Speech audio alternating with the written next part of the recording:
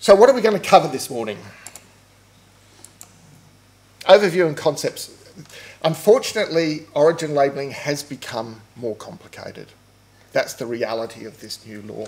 And to understand what you need to do, there is a number of basic concepts you need to understand to get across what you need to label.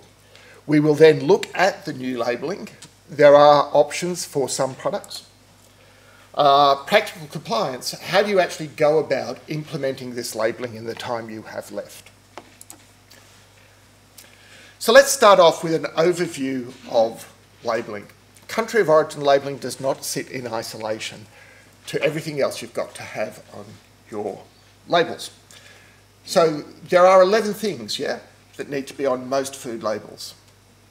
Name of the food. Um, what's the name of food of a Mars bar? Anyone? Confectionery. Confectionery? Close, yeah, yeah. Confectionery would work. Um, it's not Mars bar, but Mars bar is the trade name, right? So Mars, I think, actually goes a bit fancy. It's sort of like delicious nougat and creamy caramel wrapped in delicious chocolate is the name of their food. Um, confectionery would do just as well. Key thing is keep, by all means, have your brand name, but make sure you have the name or description of your food on there as well. That's the biggest trap. A certain well-known, very well-known uh, beverage company was uh, actually got into a little bit of strife over this one because they use their brand name and sort of says, well, everyone knows it's a beverage. Well, no, but you have to state it, have the name of the food. Name and address of the person taking responsibility for the food. Just a reminder, that cannot be a PO box. That's generally an issue for smaller businesses who don't, who may well be running their business from their residential address and they don't want their residential address passed across the great wide world. Well, I'm sorry, it cannot be a PO box. It has to be a physical address that people can come and knock on the door. Date marking. Everyone know the difference between used by and best before, I hope? People are nodding. Good, good. Is it illegal to sell product past its use by date? Yes. Yes. Is it illegal to sell past its best before date? No. no. Exactly. Key difference. Because of that, what do supermarkets prefer you to market as? best before. Best before. What should you do in response? you should push back. You should push back, right? This is actually a safety issue for consumers. So the fact that there might be a commercial disincentive to have a use by date rather than a best before is not an excuse. So push back on that if you get it. Lot identification. Can your lot can your date mark be a lot ID? Uh, answer is yes. Right? Can be. Provided it actually works as a lot ID. What's a lot? Sorry? A production run, yeah. Production run, and of course that's largely self-defined, isn't it? You know, it's whatever you produce as a thing. So generally you've got a consistent set of ingredients for those that formulate foods from, from ingredients. So it's the one set of ingredients into the one process and the outcome of that is a batch. If you just produce one batch a day and your date marking is specific to the day, then yes, your date mark can be a lot ID. But don't think that a date mark is always a lot ID. They are separate concepts. You must have a lot identification if you produce, for example, more than one lot in one day. Why do we have lot IDs? What's the one of the biggest reasons we have for it? Traceability. Thank you, guys. Yeah, absolutely. The ingredients list, the hard-working part of the label. Um, there's not too many issues come up with ingredients lists nowadays. Um, just a reminder though that we have a proposal out at FSANZ at the moment for what's called PEAL, Plain English Allergen Labelling, that may affect how you declare allergens in your ingredients list. So watch this space on allergen declarations. Speaking of which, you must declare allergens either in the ingredients list or, in, or as well as in a separate statement. Allergens must be declared whether they are there as what? Ingredients, additives, or processing aids. Okay, so things may need to be declared even if they aren't in the ingredients list because the ingredients list will not contain processing aids. So just be aware of that. Allergens and allergen traceability could be a whole other seminar um, particularly here in WA, as of course we now have lupins on our list. Lupins are a mandatory uh, declaration for when they are present as an ingredient, additive or processing aid. And one of the big issues is people are, what's the word? They're worrying that because now allergens is on the list, what do you do about precautionary labelling the may contains. And a lot of people saying, well, we don't know. We actually haven't got any processes in place to test for or deal with lupins. So what are we going to do? Put may contain lupin on everything? Well, hopefully not. That's not the idea of precautionary labelling. Um, without sort of being too blunt about it, have a look at your food production history, see whether you've had any lupin reactions in the past 20 years. If the answer to that is no, I would probably suggest you don't have any lupins to declare as may contain. But uh, allergens is uh, an ongoing issue. Uh, the other thing I might mention very quickly, in, in just in terms of an overview about um, where food reg's going, there is a national program being run by Allergy and Anaphylaxis Australia called the National Allergen Strategy. And part of that is looking at implementing mandatory notification to health, uh, health departments of hospital admissions for anaphylaxis. Personally, I think this is a great idea. Right? We don't really have solid statistics for anaphylaxis admissions in this country, and we can get a much better handle on how effective not just our mandatory labelling, but also our voluntary labelling for allergens is if we had access to that sort of data. Characterising ingredients, this is the percentage declarations. Again, people generally don't have uh, particular problems with this. Key thing is what's a characterising ingredient or component, something that is really highlighted in the name of your food. Right, they're the big ones. Name of the food, described on the food, pictures on your label. That's the sort of thing you're going to have to percentage declare. Uh, usage and storage instructions, again, this can be safety stuff, so, so pay attention to it. And of course, nutrition information. Please, in your panels, do not put the letters AL after nutrition. It is a nutrition information, not a nutritional information. Information has no nutritional value whatsoever, says the grammar Nazi in me. Trade measurement. Haha, my favourite subject. So something that could kill you like allergen labelling has four presentational requirements. Yeah? It's got to be what? In English, it's got to be legible, it's got to be prominent, it's got to be in colour contrast. That's for something that can continue, kill, kill you. Trade measurement. How many requirements? 16. 2 mil separation from any other edge or graphic. Minimum size, orientation, front of pack. I actually had a, a company that had a, a, a, soft drink can. It had a funky brand that was vertical up the can, but their trade measurement was horizontal on the bottom of the can. Perfectly legible. Front of can, no worries at all. But the requirement is that the trade measurement read in the same direction as the major brand marking. So they had to ditch all of their, their packaging and have it reprinted for a, a, statement that was entirely legible. This is a major area of reform that the industry is looking at. So what's missing from that list? Anyone? Country of origin labelling. Yay. Okay, let's not spend too much time on the whys other than I need to get you across a couple of hurdles. Why do we have country of origin labelling? Particularly now, why do we have this reform? People will tell you that, well, country of origin is about consumer information, and indeed it is. Ultimately, it's about providing the consumer with information. Okay, so what are the big changes? The origin statement has a box, a logo, and a bar chart, whereas previously it was just a text statement.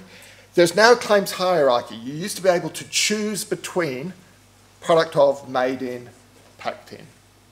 You can't anymore. Right? You are told the claim that you must make. Product of is more restricted.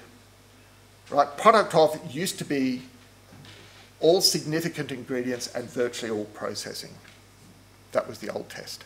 The new test is all Australian ingredients and, products and additives. Right? There's a lot of products currently make product of claims that will need to move to made in. Right? If you're in that boat, don't stress, just make that change, make that leap, right? You are not alone because almost everyone in your category is going to have to move.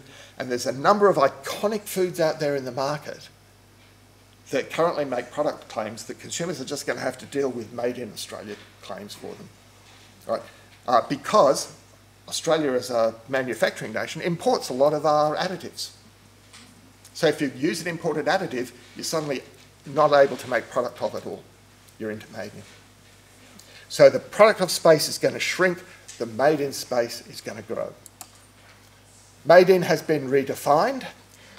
Let me say that the definition, or the new definition, I think is better, right?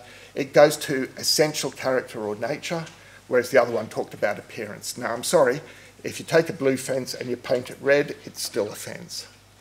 Right, you've changed its appearance, but you haven't changed its essential character. So the new test focuses much more on essential character. And I think that's probably the right thing to do in terms of better con consumer information. The other thing is the wording is now largely set. You used to have a, a, requirement to provide a statement and that wording was up to you. Pretty much now you are given choices but the wording itself is prescribed and you must use it within the box at least. So they're the, they're the big ones. So let's look at some basic concepts. This is the new look. This is what the labels are going to look like. There's a logo, the bar chart, mandatory text, all in a box. We are. Not all claims will have all of these elements, but that's the basic look. The logo signifies manufacturing jobs. It's the made in part. It, it means we have people in Australia who are substantially transforming products here. They are employed in the manufacturing industry. The bar chart talks about Australian content. This is the farm bit, right? The bar chart's about how much this product, so buying this product may support Australian farmers, right? The text used to be free form, now it's pretty much prescribed. And it's in a box because this has got to stand out. This is important stuff. Okay, the concepts I want you to understand is the bar chart. What is a non-priority food? Whether you go for minimum versus average content, two different uh, options. And what is a retail sale? Retail sale is probably not too different to what you think. Non-priority food may well be different to what you think. So let's have a look at those. The bar chart, basically it's a box, 20% tick mark, so a little tick mark at the bottom for 20, 40, 60 and 80, right? You fill from the left, as the uh, animation showed. You quantize down to 10% intervals. So if your product has 68% Australian content, you fill your bar chart to 60%. If your product has 18%, you bring it down to 10. If it has 11, you bring it down to 10. Right? There are extra tick marks, apart from the 10, 20, 30, 40, up to 90. There's an extra tick mark down the bottom at 5% for the very low content, and there's another extra tick mark at 95% for the very high. So if your product is actually mostly Australian, but you do happen to use an imported ingredient, you know, um, wine, where you use imported sulfur dioxide, right, then you are made in Australia from probably, what, 99% Australian ingredients, but what you show in your bar chart is 95. You fill it to the 95 tick mark. Okay? Getting this bar chart right is going to be relatively important in understanding where your labelling goes. Um, there is a slight modification to that which I will, will talk about in a couple of minutes because the text statement is different from the bar chart okay? But the bar chart shows 95%, even though it's 99.99 or whatever. And the big change for that, of course, is you're no longer product of. You're made in because of that 0.005% additive. Yes, it is down to that level. If your additive is down at 0.005 or whatever, it is not 100, it is 99.995, and therefore you're in made in space, not product of. Okay, non-priority foods. I was involved in lobbying it when all of this was going through with the Australian Food and Grocery Council.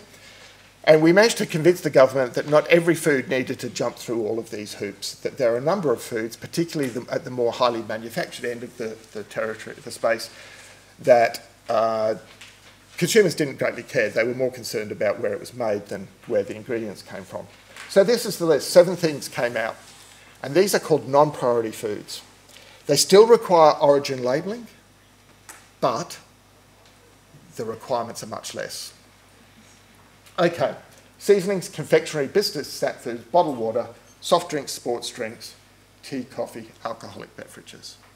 Woohoo! All of the wine people are now going, thank goodness, I thought I was going to have to go do something odd. Well, you still do, um, but, but you're exempt from a lot of the, the big requirements. The trouble is, these things don't mean what you think they mean. There is a dictionary at the back of the information standard, the country of origin information standard, which is part of the Australian consumer law, actually has a dictionary at the end. So jam, for example, includes all of these things, but does not include marmalade. right? So confectionery is exempt, but confectionery does not include jam. Jam does not include marmalade.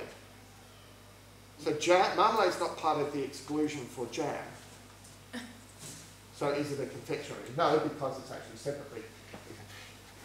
The key thing is this is really quite bizarre.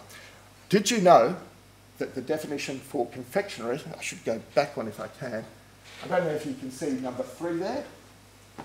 Confectionery includes ice cream. This really shows how important it is to look at the dictionary, not at the words in the excluded list. Right? I was giving this talk in Melbourne, and it was at this point where a member of the audience put her head on the desk and burst into tears. Right? And that was a bit disconcerting for the speaker because generally I like my audience to be engaged and smiling, not crying. Um, this was about four months into the the, the transition period, and she had just done for nothing else for those four months but develop new country of origin labelling for all of her ice cream products. Because she looked at the non-priority list, ice cream wasn't on the, the, that list of seven things, so she said, we've got to do all of this, convinced management to give her the time, and now she finds out that it's a non-priority food after all. Look up your definitions right? You can't just assume that those words on that list mean what you think they mean. Okay, if you are a non-priority food, you do not need the logo bar chart or box, but you still do need a statement. Right? If it's grown, produced or made in Australia, bear in mind how those words are now used. Right? So then you have a statement saying so. So if you have a uh, alcoholic beverage that you make in Australia with an imported additive, right, you do not need the logo, bar chart or box, but you still need a statement, and that statement largely must be made in Australia because it's not product of because it contains imported ingredients or additives. If you, that's if you import the sulfur dioxide. If you do a biodynamic wine, it's just Australian grapes, that's fine, then you're product of. Okay? But this is the key thing for non-priority food. It doesn't exempt you from the requirements, it just basically gets you out of the logo, the bar chart, and the box. But that's not you, right? Sorry? That. Well, no, the, you currently do have to have an, an, origin statement, but of course you had a lot more freedom. You could choose between um, product of, made in, or bottled in Australia. You don't now. You have to state one of these things right?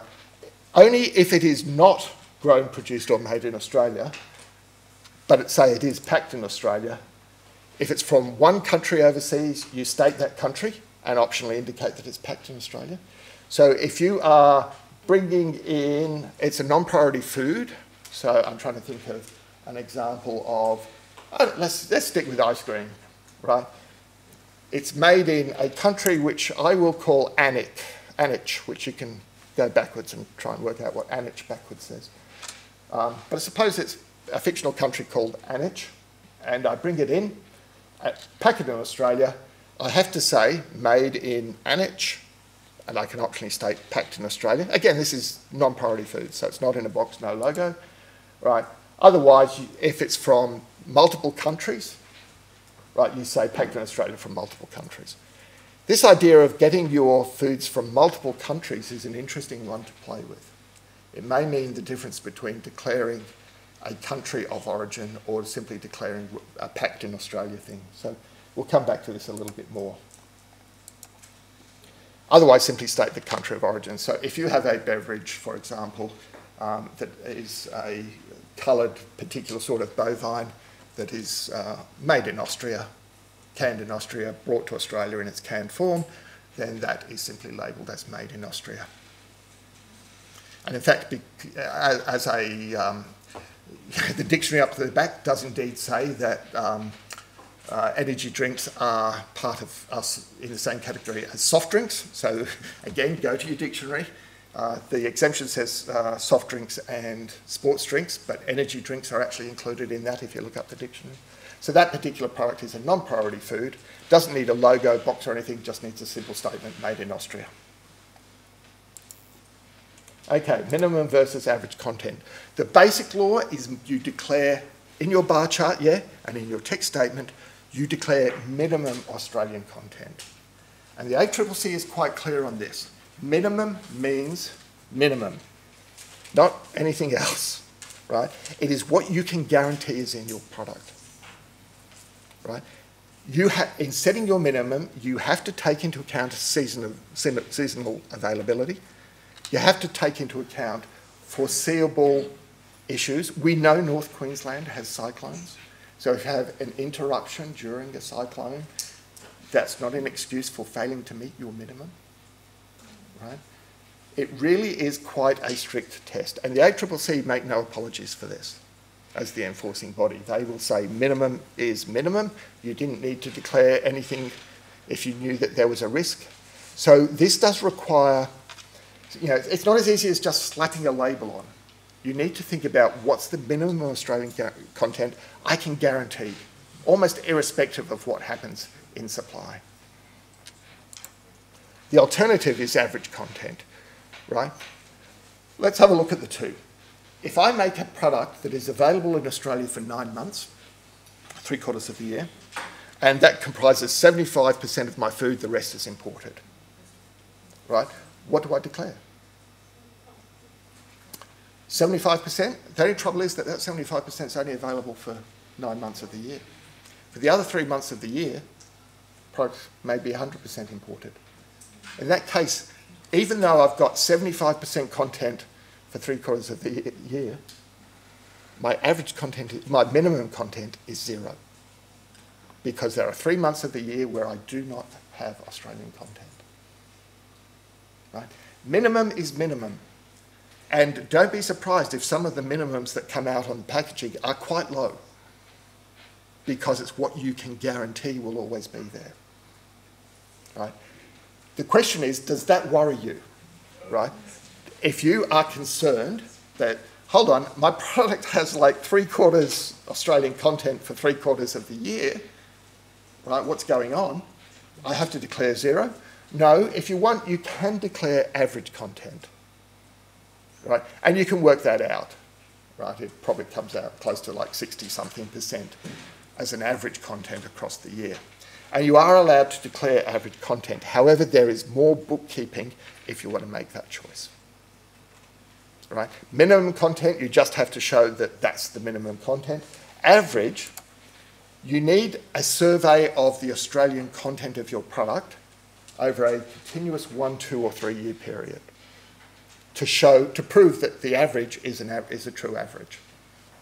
Right. Sorry? For a new product, you don't have that option? No, you don't have it for new products, exactly. Yeah. Right. You, the minimum is, would be to have one year of data. Right? And what's more, it's a rolling process. Your time period that you've collected your data has to be more than two, no greater than two years from the date of packing. So your data expires, if you like. Your, the data you're using has a two-year expiry date, and you need to update it constantly as, as time goes on, right? Um, so you are buying into a reasonably solid bookkeeping exercise by going down this path. You also need uh, to put in what the, the standard says is an identifying phrase, right, which basically is a number or a means for consumers to contact you to find out what the Australian content in this batch is, and you've got to be able to provide that. You don't have to have it on label, but you've got to have it available for inquiry. Content, it's a bit like ingredients list. The, you know, when you're looking at your bar chart, what do you count, right? You count, it's by ingoing weight, not in product weight. Ingredients and additives, but not processing aids. It's like an ingredients list in that sense, right? And if you have a compound ingredient like a muesli, you know, if you're producing a muesli bar and you're buying in the muesli ingredient, you have to deconstruct that. You have to find out from the muesli manufacturer how, what's the origin of the sultanas, what's the origin of the date pieces, what's the origin of the oats, what's the origin of the other cereals, right? And break them all down by their percentage in the muesli and then the percentage of muesli in your food, and that gives you the content, right? So there's a fair exercise in knowing the origin of all of your ingredients particularly if they are compound ingredients. You, you need a full breakdown of your compound ingredients to be able to work out your final percentage. Big information exercise. If you buy your ingredients from overseas, they may buy, you know, if you buy oats as a commodity, they could come from 40 different countries and they may all get blended together and you're just buying oats. So what do you do? What do you do? Right. You have to assume in cases of doubt because it's minimum labelling, yeah? You don't go over, you can go under. Right? So if you don't know the origin of ingredients, count it as zero. Okay, uh, three rules for water. Reconstitution takes on the origin of the ingredient. So if I take concentrated orange juice from Annick and I dilute it with Australian water, that water magically becomes Annick water. Okay? Reconstitution, so dehydrated or concentrated ingredients, the water used to rehydrate it takes on the origin of the ingredient that you are rehydrating. Okay, I take Australian concentrate, ship it to, I don't know, let's pick a country, China. It's diluted with water in China and packed and brought back to Australia. What's the Australian content? What's the Australian content? 100%. I am not kidding you. Read it. Reconstitution takes on the origin of the ingredient. My Australian orange concentrate, I ship it to China. The fact that they're using added Chinese water, the water takes on the origin of the ingredient, which is Australian, so the product becomes 100% Australian. I didn't write this stuff, don't blame me. right? What they had in mind was the other way, yeah? Concentrated juice from third countries coming to Australia being reconstituted here, and water being counted as Australian content, that's what they didn't want to happen. take on packed, um, they didn't have to say that it's packed in China? We'll come to packed in in a sec. Did anyone else? Yeah? So if you have an iced tea, you're using Australian water, but you're using Chinese tea? Okay, that's the, the question was what happens if you, uh, if you bring in Chinese tea and dilute it with Australian water. The answer is the Australian water becomes Chinese water.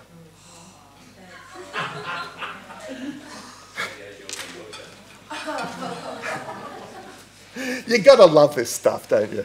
Okay, so that's a special, one of the special rules for water. The other one, okay, the other thing is in calculating your content, you ignore liquid packaging mechanisms. This mediums. This is something where you're packing the product in a liquid for sale, but the liquid is typically discarded prior to use. Okay? Your classic example would be your fruit. Now, who discards the fruit syrup when they use fruit? Who doesn't? Is the fruit syrup liquid packaging? Some do, some don't. Right? tricky question because you, you only get one label. You don't get to label for different, yeah. If you discard your liquid packaging meat, uh, fruit syrup, please read this label. If not, please read that. No. No. What about sardines and olive oil and sardines? Is that liquid packaging? Well, the, who discards the oil from their sardines? Who doesn't? Right. If in doubt, it's probably best to not discard it. Right. If, if it's, you know, the, the question is whether it is typically discarded or not. If it's 50-50, that's not typically discarded. So in that case, it becomes an ingredient because the third category is you treat it as an ingredient. Yes, another Does it question. kind of come down to the name of your product? So if you say that this is sliced peaches, then it doesn't include the water content, but if you say it's sliced peaches in syrup, then it does? Okay, the question is, is does it depend on the name of your food? If you had sliced peaches, is that different from sliced peaches in syrup? The answer is no. It depends on whether the medium is discarded or not, typically by the consumer. Right, so, um, know, smoked oysters in oil, most people would actually discard the oil, right, and eat the smoked oysters. But it, it depends. What you will need, if you, if you are excluding stuff as a liquid packaging medium, if, you dis, if you're excluding that for your origin calculation, you will need to have evidence that it is typically discarded. Right, that's some sort of consumer survey evidence or something like that. Right, if you don't have that evidence, it's probably best to assume that it's not discarded. We have another question. I think I was marinated olives there as well, so that would be ignore it. Well, the question is whether the it's discarded in your marinated olive. So some of the oil, of course, soaks into the olive, and that's part of the food, right? But some of it gets discarded. You have to essentially divide up the oil content between what's kept and what's discarded. Another question. So if in doubt, just treat it as an ingredient, basically. If in doubt, treat it as an ingredient is a wise way to go, unless you hold evidence that it is typically discarded. Yeah. Example like brine with feta cheese. Uh, yeah, the question is, is the brine in feta cheese? I think that is typically discarded. And, and so that would be a liquid packaging me- medium that you do not take into account. You can see how, you know, people rush in and say, what label do I need? It's actually more complicated than that, yeah? You need to get across these concepts about what, what is or is not counted. And I've done this again, haven't I? Try there. Retail sale is pretty much what you think, sale to consumers. It includes the sale of retail ready packs, right? So the fact that you're, not, you're selling to a wholesaler, not a retailer, doesn't get you out of this if you're selling consumer packs. But it does exclude some things, and this interests me. Immediate consumption, restaurants, canteens, uh, stuff made and packaged on the premises for which it's sold, delivered at the express order of the consumer, so all of the fast food restaurants are out of it. Um, let me go back to that previous one.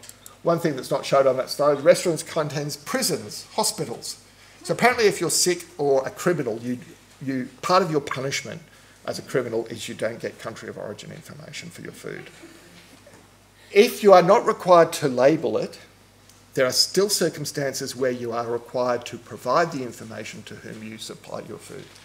And those cases are where the food is to be on sold. So if I'm selling something and it's not a retail sale, but the person to whom I'm selling is going to on sell that food without processing it, I need to provide them with all of the origin information. Right? And when I'm selling an ingredient, if I'm selling in the, that previous example, if I'm selling the muesli mix to a muesli bar manufacturer, I have a legal obligation to provide the, the, my customer with the origin information about my muesli mix. So this is to allow the information to flow through the chain. Of course, these obligations are under Australian law, so if you are importing stuff, and you can say, you've got a legal obligation to provide it, that's say, do I? I'm over here in Malaysia blending my muesli, and I don't think I can need to provide it to you at all. Well, Australian law doesn't actually apply very much outside of the country, although the ACCC, sorry, the uh, Australian consumer law is an exception to that. It will claim to apply, but enforcing it could be a different matter. Sorry, there's a question here first. Okay, the question is if, if I have a muesli bar and the raisins in that muesli bar contain added sulfur dioxide um, from overseas. uh, the answer is that would stop you labelling your product product of. That would make your product made in. Because even though it's a small amount, the definition of product of is all Australian ingredients and processing aids. And if they are not all, including in compound ingredients, then that's not Product of- Well, it's, in some cases it is, in some cases it is not. The, one of the big issues on country of origin has actually come up with rennet in cheese about whether that's an ingredient or a processing aid. You have to be very careful and don't be surprised if you need to give a technical justification to the ACCC, who are not food experts, as to why you are claiming something is a processing aid rather than an additive. Right. So it's not quite as simple as saying, oh, it's a processing aid. You may need to have to prove that it's not serving any functional uh, effect um, in the final food. No, no. The, sorry, the question about information, it doesn't have to be provided in the box or, or anything like that. It is, it's simply a written piece of information. Okay, the question was about imported foods. How do we go about getting that information? What's, what sort of level is going to be acceptable? Um, ultimately, it depends on the nature of your food and how excited you are about origin labelling. Um, there are a number of foods which are not sold on the basis of their origin. They're sold on the basis of what they are. Um, they're sold on the uh, rather than on country of origin. They're sold more on regionality or on production or a number of things. You need to work out what your how invested you want to be in origin labelling, right? Because you always have the option of understating and underdeclaring. And if it's proving too hard to get the information out of a overseas supplier and it's just not worth the candle, just treat it as zero. After all, it's about Australian content, you know, the bar chart, right? Um, remember, you can have zero Australian content and still be made in Australia if it's substantially transformed here. So you can get the logo even if the bar chart is empty. Okay, yeah, the, so it's, it's almost like a transitional question about what do I do with my label stock when I've ordered two years worth of label stock and, you know, it's about to come in and I have to change my label with the new laws. Okay, we'll come to this under transition, but the long and short of it is the, the key date is 1 July 2018. Right? What's that? Two and a half months away. Right. And it's all to do with when you pack product. Stuff that is packed prior to that date, 1 July 2018, can have the old label and can be sold forevermore with that old label. Anything that is packed after that date must carry the new label. Small packages, same definition as the Food Standards Code, 100 square centimetres. Requires the words and a box, you just get to admit, omit the logo and the bar chart for small packages. Key thing to remember, and uh, you know, this is not just for this exemption, this is generally, it's the surface area of the pack, not the label area of the pack. Okay? The label area of that pack is a lot less than the surface area of those little sauce packs. Now, it's not an issue because they're actually still under 100 square centimetres, but bear that one in mind. It is the surface area of your package, not the label area, that counts. Right? But if you are have a surface area less than 100 square centimetres, you have a box and you have the text statement, but you do not require anything else. There are no legibility requirements uh, per se. There are outcome requirements that it must be in English. Um, it must not have anything contradicting it in other languages. It must be legible, prominent, and in colour contrast. These are the standard Food Standards Code requirements for any mandatory statement, so this is not especially new. The good news, there is no minimum size for this. It must be legible, and please, those of us who are getting old and you know, carry around reading glasses, we do like labels that are more readable, please, particularly in dodgy supermarket lighting, but there is no minimum size per se. Commencement date, we've talked about 1 July, that's your compliance date. There is um, the, the question that was asked before about uh, selling stuff past that date. Uh, it's called unlimited stock in trade, and it was something that the food industry fought very hard for and achieved in all of this. So the key date is when you apply your, your pack, when you pack your food, right? Anything that's packed before 1 July can have old labelling. Anything packed after 1 July has to have the new labelling. The fact that it was sold after 1 July doesn't matter. So if you've got stuff in your warehouse already that is packed well before 1 July, but is not going to be sold for another six months, don't have to sweat it. What you will need is evidence that you packed it before 1 July. So keep those manufacturing records like you wouldn't anyway, but keep them so that you can prove that batch number 1234 was manufactured in April 2018 and uh, therefore doesn't need to comply. Keep your manufacturing records very carefully. Question? Just on, Can, the question was, can you use stickers? The answer to that is yes, provided the sticker, of course, covers it.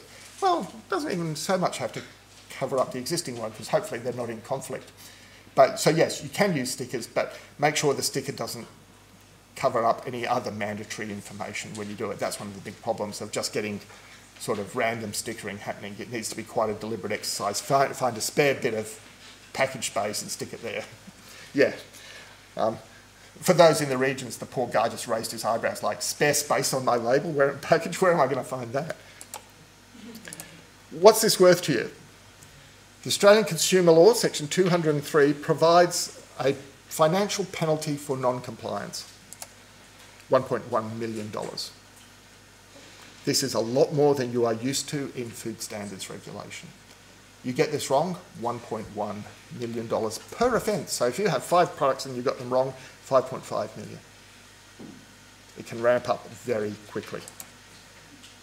The offences apply to selling, offering for sale, or having in, having in possession for sale or manufacturing, so it's quite broad offences. Um, this does not apply to export food. So if you're exporting your product, you do not need to have this labelling, right? But it's a good idea. There's actually a provision in the consumer law that says if the goods are marked as being for export only, there is a presumption that that is the case. It's um, export to New Zealand, it's export only right? Export to New Zealand is still export, correct. Okay, those of you who are worried about the 50% cost rule, remember to make a maiden claim at the moment the, to get the safe harbour. I won't go into the details of it. You've got to have 50% of your costs are incurred in Australia, processing, uh, sorry, labour, overheads and ingredients. That's all going. So that whole accounting exercise around origin claims is disappearing. That's a good thing. The ACL includes a safe harbour for uh, compliance with all of these rules. What that means is you will never be said to be false or misleading if you comply with the information standard.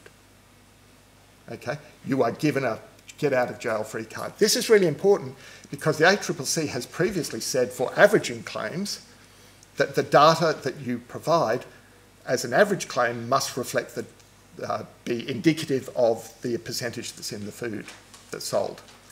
Whereas this law specifically says if you have a a one year continuous bit of data that's no more than two years old, you can use that even if what's in your current product bears no relationship to that data.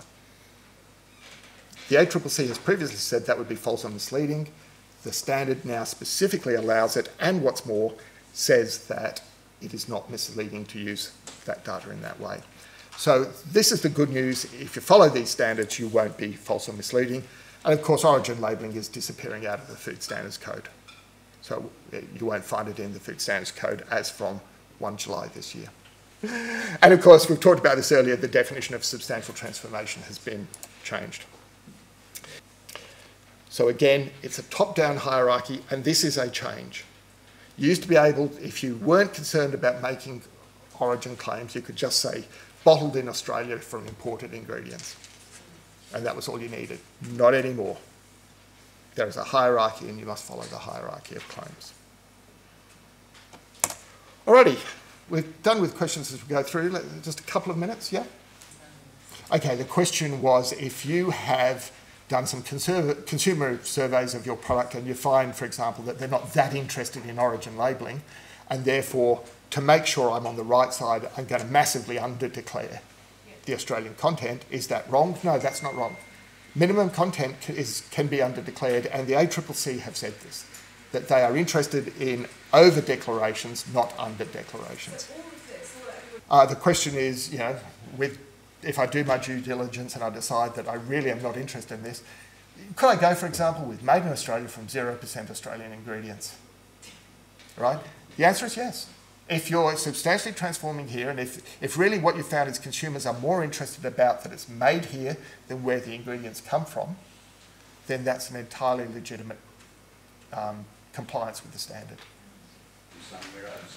Okay, the question was uh, the use of starter cultures and things like that, particularly in, in yogurts and, and dairy, I imagine. Um, the way in which I would answer that would be to look at how you're currently declaring it. Do you declare a starter culture as an ingredient or, or additive? If you're doing that, it's going to be a bit odd when you suddenly claim, no, that's a processing aid in my new label and suddenly say that it's not part of the origin. Um, have a look at your current label and if, you know, It's not an ingredient on my label. if it's not already, if it's not an ingredient or additive on your current label, then that means you're currently treating it as a processing aid, and this labelling law does not change your characterisation of your ingredients. Whether your, your characterisation is right or wrong is a separate question, but this law doesn't change it. There, there is a big issue, as I said before, about rennet in, in cheese. Some people declare it as an additive, some people declare it as a process. Some people don't declare it because it's a processing aid. Okay, let's have a look at the class one, the product of Australia. As I said before, and I can't stress this enough, enough, no imported ingredients or additives. You can have imported processing aids to go to that, that question. Significant change, right?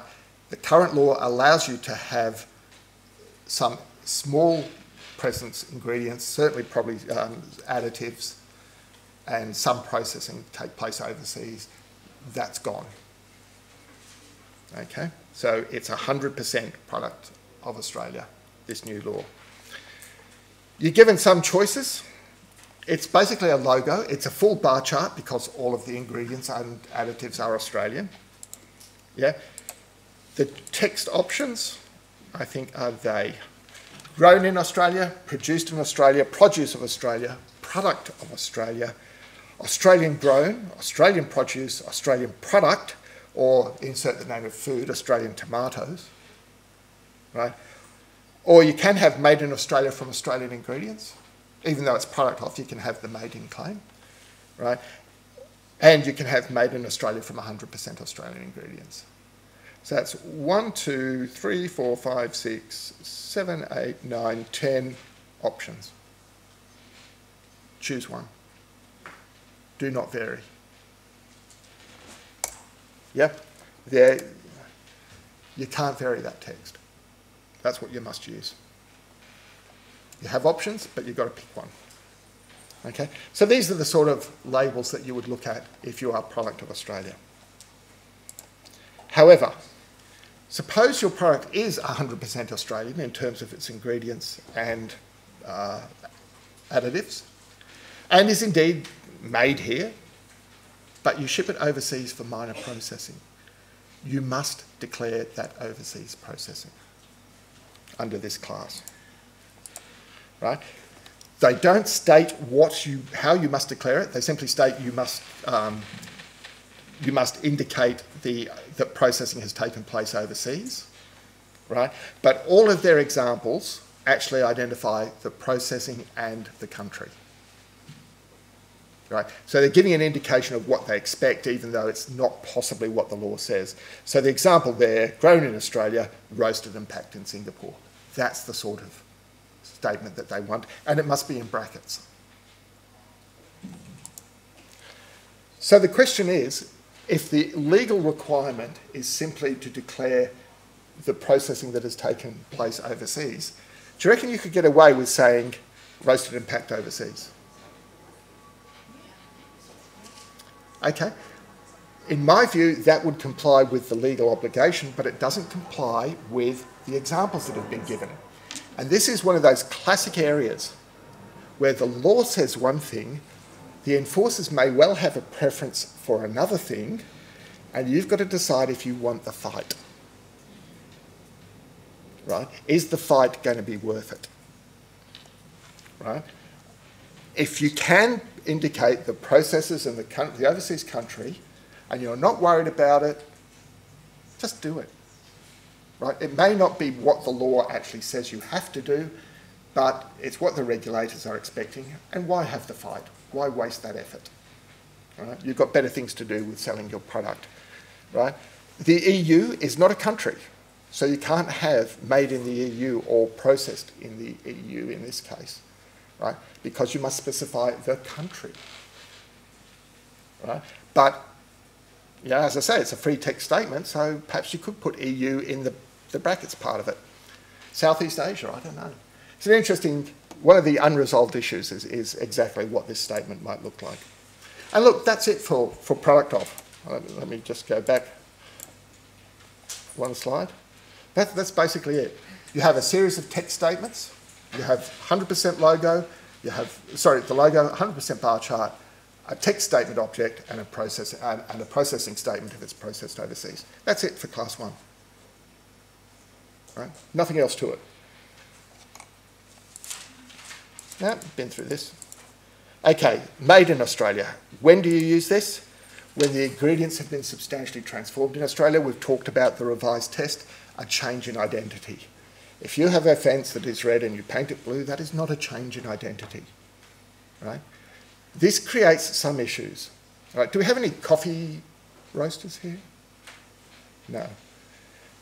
Let me ask a question. Is roasting coffee a substantial transformation? Everyone here says yes. Why? Why? It was. Sorry? You can't make coffee from a raw bean. You can't make coffee from a raw bean. So it, it has different characteristics, right?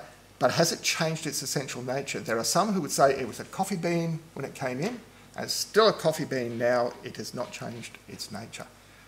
So substantial transformation is not an easy distinction to always draw. Right?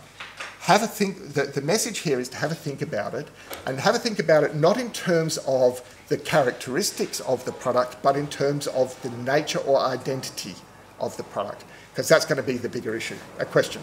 With the coffee bean example, the biochemical nature of the bean is changing through roasting. I mean, it's, it's a no-brainer. Yep. So the, the point made is the coffee bean changes its biochemistry when roasting. That's true for any cooking process. It doesn't mean that the thing has changed its identity. Um, a leg of ham is still, sorry, a leg of pork is still pork even though it's roast pork, and even though its biochemistry has changed by roasting. So it, there is no answer, and I don't, I don't want to stand up here and say that roast you know, a roasted coffee bean is not a substantial transformation from a raw.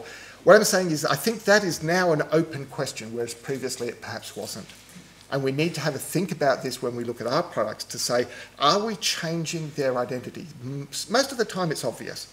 You take flour and water and sugar and a bit of cocoa powder and you make a chocolate cake, right? That's a substantial transformation and no one's going to argue the toss, right?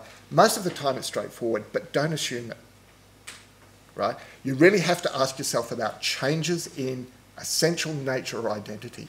And where you can put it, the ingredient on one hand and say, that is our coffee bean, and hold the process things there and say, it's still a coffee bean, that's an issue you're going to have to explore.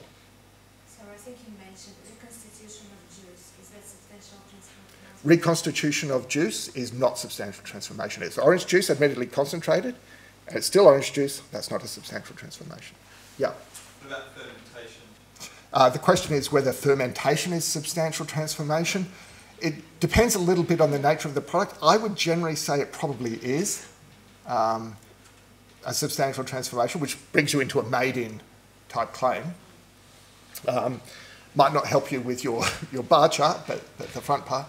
But, but really, it comes down to not a technical understanding, but a consumer understanding. If you were to go to the consumer and say, here's the tea that I started with, and here's the kombucha I ended up with, are they the same thing? If consumers say no, then you've got a substantial transformation. If consumers say, yes, yeah, really, they are, then you've got a problem. So if in doubt in this area, right, it wouldn't hurt to actually go and ask some consumers. Right? Get some evidence to support the decision you are making rather than making it um, off your own judgment or, or off a more technical basis. Because the ACCC doesn't care about the technical. Honestly, the ACCC doesn't care about the biochemistry of it. Right? They're concerned about consumer perceptions and whether consumers see them as the same thing. Question over here. Um, so if you were to go follow that simple thing to remember, Yeah. The question is, is how strong does your evidence have to be in terms of the numbers of the survey or the quality of the survey? up to that Right. Um, it, it comes down to the quality of evidence generally, right? So, you know, and, and this is a judgment about how important it, is to you. The, if you can show the ACCC you have made a genuine attempt to comply with these laws, and you have gone to some effort and maybe got an independent researcher to do the survey and, anal- and analysis, then that's better than not having any evidence at all, right? Having a full, independent, double-blind, university moderated ethics panel reviewed study is even better. But in origin labelling, probably that's not going to be where you're going to be at, right? So the question is, it is better to, even if it's just a survey of your 10 friends at a barbecue, right, that's better evidence than nothing, right? A proper independent study is even better evidence. And really, you know, it's an area where you can spend as much money or as, and time on as you want, but you've got to make that call as to how important this is for you. But always remember, some evidence is better than no evidence. But does a physical transformation considered a substantial transformation? The question is whether a physical transformation is considered a substantial transformation. Not always, no. No, it depends. It's not so much the, the physicality or appearance or even characteristics, it's the nature of the product that you look at. It's its identity. Coffee bean, coffee bean, arguably, right? Some people would say green coffee bean, roasted coffee bean, and say that they're different. Now, I'm not going to make a call on that, right? But that's the test, is, and it's a consumer mind, it's, it's in the consumer's mind, not in a technician's mind. Ground and blended coffee beans. Oh, blends are, uh, sorry, the question around, around blends. Blends are a great one. Uh, if I take six different salad leaves and put them together into a salad, is that a substantial transformation? Um, that's a classic area where we don't know the answer to that question. Right? The ACCC would probably say that is not a substantial transformation. Okay, please note there is, for made in class two, substantial transformation, there's no requirement that any of the ingredients be Australian. You still get the logo. Right? So if your product is made from 100% imported ingredients, that's fine. Right? Just show an empty bar chart. Still made in Australia. And as I said, the 50% cost rule is going, so there's no minimum Australian costs. The label mark is as shown here. You have the logo, the partly filled bar chart, and a text statement in a box, unless it's a non-priority food. Okay, the text statement, made in Australia from at least, there's the at least, X percent Australian ingredients. We will come to the average marking later on. Okay, but made in Australia from at least so much percent Australian label. The bar chart is quantized. As I say, you round down your percentage to the nearest 10% mark with extra marks at 5 and 95%, but the text statement is not. So, if you have a product that is 68% Australian ingredients, the bar chart is filled to 60%, but your statement is made in Australia from at least 68% Australian ingredients. Right? The text, it has to be a whole number, and you round down to a whole number, right? But you can state the number, it, you don't have to, in the text statement, round it down to the 10%. So for a product that is largely Australian, right, but with maybe a small um, additive in there, you're talking probably a bar chart which shows 95%, the logo, and a made in Australia from at least 99% Australian ingredients. That's going to be a reasonably common label for products that used to be product of Australia. Okay, what happens if you haven't got much Australian content? There are special rules. If the content is between 1 to 9%, then you can use the statement made in Australia from less than 10%. Right, gives you a little floor, whether it's 1, 2, 3, 4 or 9, you can say less than 10. Does that less, less than ten percent take you to the five percent? Yes. Uh, well, It's only one percent, well, if, if it's 1%, you get the 5% mark. Right. So you, you get to go up in that case. Um, but, oh, sorry, no, strictly speaking, you should round down, sorry. So I tell a lie. If it's 5 to 9, it's 5. If it's less than that, you're probably showing 0. But you can say less than ten. But you can, but you can say less than 10. So the bar chart and the text statement don't have to align. And in fact, this text statement is the more accurate of the two. Okay, here's some other label marks. If there's no Australian content at all, if it is fully made from imported, you can say made in Australia from 0% Australian ingredients, or you can say made in Australia from imported ingredients. So this is, you know, empty bar chart, you still get the logo. And of course, in, the, in this case, the bar chart shows zero. Again, if there's overseas processing, you must declare it. Bear in mind that the processing, though, cannot be substantial transformation. If it is substantially transformed, even though you might make a product in Australia, but if you send it overseas and it's substantially transformed overseas, it gets made in that country. Right? It's the place of last substantial transformation, if you like, that counts. So you must declare it just like the other one in brackets. Um, and again, you have all those issues around the law simply states you must state the overseas processing. All of the examples give the processing and the country in which it takes place. Question. Sorry, the question was if you get the country wrong for your overseas processing, can you be prosecuted? Yes, you can, because you're not actually complying with the law, right? What you're doing is actually making a misrepresentation as to the place of the processing. Oops, too low. Okay, another option you're allowed for this class is to identify the origin of a particular ingredient or ingredients.